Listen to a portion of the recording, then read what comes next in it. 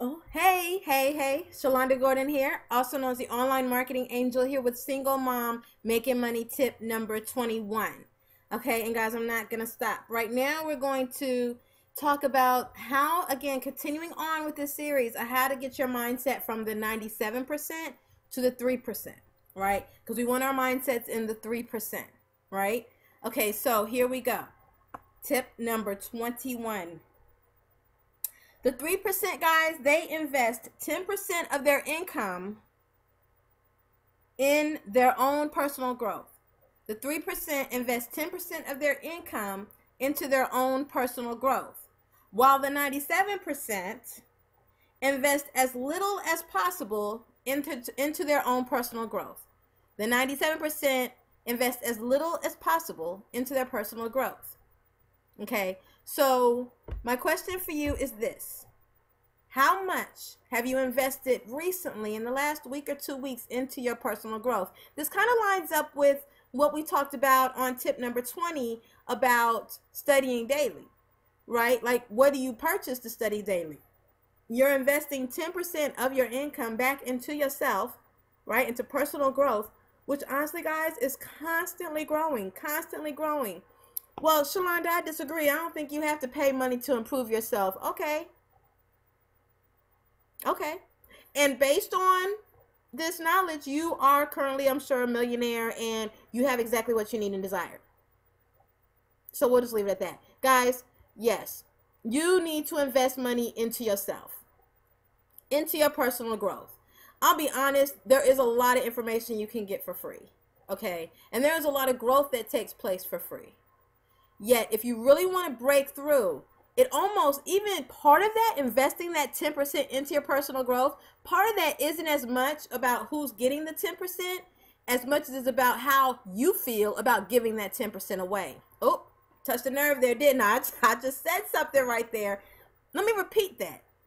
Majority of it, that 10% you're paying for personal growth, really is not as much about who's getting the 10% as much as it is about what it does to you and your mindset when you're able to give it away. I want you to think about that for a second. Think about that for a second. You are able to give it away so that you, it changes something inside of yourself. And ultimately, you begin to improve yourself. Now there are products and stuff. You know, you set income aside. There are a few like training products and things of that nature that I get. Some mindset things, some books that you can read that can take your mind to the next level, and things of that nature that that 10% can be used for. Ultimately, though, if you're sitting here battling like, oh, I don't have to give 10% away, that's something you need to deal with. Because the wealthy understand the concept of open hands. Money flows, money flows out and flows in, flows in and out, in and out, right? A closed fist gets nothing at all. So that's part of it is strictly switching your mind, Let, not allowing that fear of lack to cause you to make decisions that are not for your favor, but that keep you in a place of lack. Keep you in a place of lack. You know, I speak about this, yet understand these videos as a single mom, it, it happens to me as well, especially when we're in situations and we take care of our kids and we're looking around like, well, I can't put 10% into my personal development. I got to put 10% into these school clothes, 10% into this, into this and that and the other, right? Ultimately, guys, let me tell you what I did. I tested it out. I put 10%, took 10% and sacrificed it from my own stuff. You know, instead of getting my nails done or getting my hair done, I took 10% of what I was making and I invested it into myself and my overall income improved. It improved Okay, I didn't have lack. Letting it go broke that spirit and that fear of lack off of me, and I was able to improve. When was the last time you really decide you you felt that thing of lack, that spirit of lack, that fear coming over you, and you did the exact opposite than that fear required? That fear requires you hold on real tight to everything you have. When was the last time when that came over you that you just released it? Like, you know what? I'm investing in myself and made that decision. If you haven't done it before, it's about that time you gave it a try. I guarantee when you break that thing, it'll be freeing. One.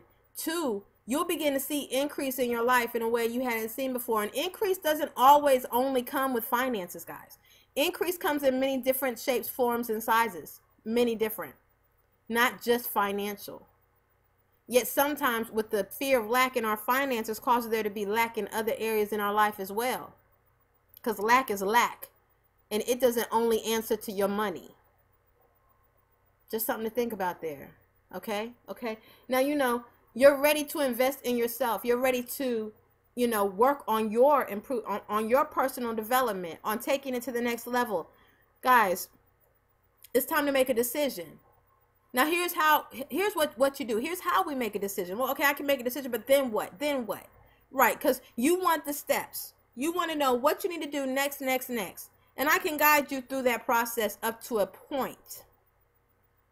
First, you're going to click the link, put your email in, get pen and paper ready, and take notes of the video that you're going to see next. Once you've watched the video all the way through, take action. Take the $25 off, take your card out your pocket, take the $25, make the decision, take action. Begin to break the back of that fear of lack. Break the back of it and watch the increase. Click the link singlemoms.withshalonda.com. Have an amazing day and keep smiling.